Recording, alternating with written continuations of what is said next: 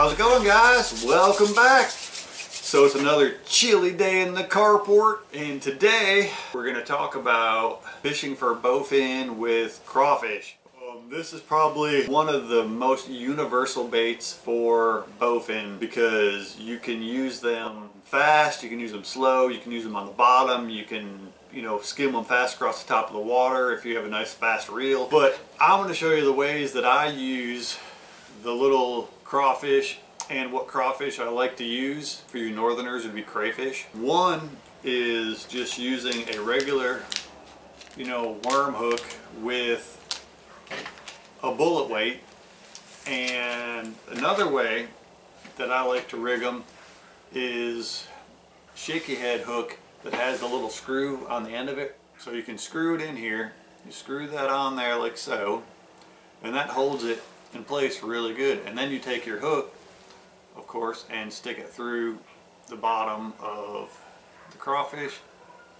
Make sure the hook is still buried so there basically there's no way that you're going to get anything snagged on there.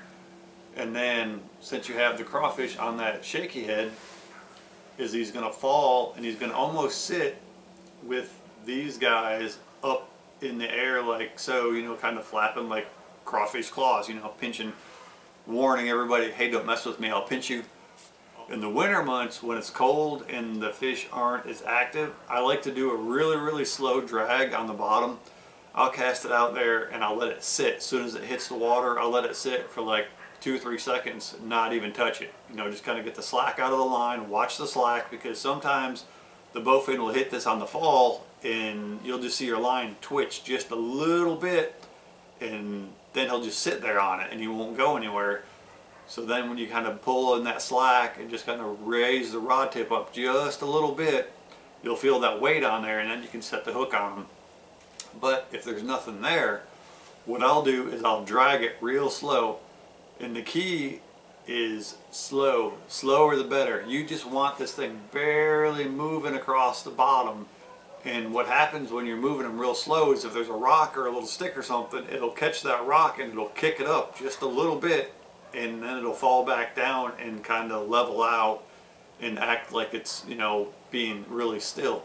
And then you just keep moving it real slow. And that really drives the bowfin crazy because I see this little crawfish moving thinking it's going to get away from him and it kind of makes him a little twitchy and he'll be like, oh no, you ain't getting away from me, buddy. And he'll come over and be like, Wah!